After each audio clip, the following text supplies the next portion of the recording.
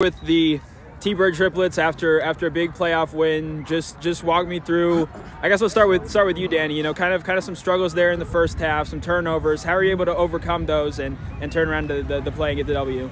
Yeah, I mean, just the way we've been playing lately, um, I think that's just a testament to we came into the game with confidence, and just because stuff starts out not going our way, um, that doesn't change, you know, the team that we know we are. And a lot of those mistakes were on me. Um, I made sure I had to clean some of those things up. These guys made some crazy plays to get the momentum going, um, so that was huge for us. But yeah.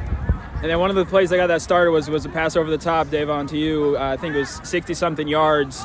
Uh, walk me through that play and how you guys were able to, to get the offense flowing. Man, I wasn't. I mean, we weren't connecting at first. I mean, I was dropping stuff, and I mean, we just missed game passes. two seven.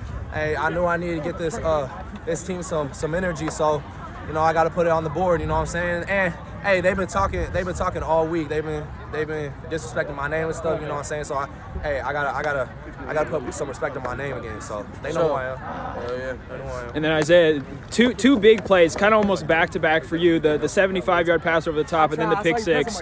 Walk me through kind of kind of both of those plays and how that really turned the momentum in your guys' favor. Yeah, that box out, the 75 yarder, um, we, we caught it earlier in the game. I, I beat him, but uh, my QB got he got disrupted in the back, so we went back to that same play. So I knew it was gonna be there. I just had to make a play on the ball, and then that pick, um, we just worked on it all week in practice. Uh, them them running plays, so I just seen it coming my way. I had to had to make a play. We, we play playmakers are purple for a reason. Yeah, and then and then one final question for for the three of you. You've got you know biggest test of the season. You played them before. Uh, I know maybe you know all three of you weren't maybe at full full capacity for that game. I know you all took the field, but this opportunity just walk me through that opportunity. What what you think it'll take to to beat what I mean it might not be final, but Westside next week. I'm just gonna say this is gonna take all of us. Yeah. It's gonna take every single one La- of us. uh, last time we played them, we wasn't healthy. I feel like we got a momentum right now. Everybody healthy, so it's gonna be a good one for sure. Yeah.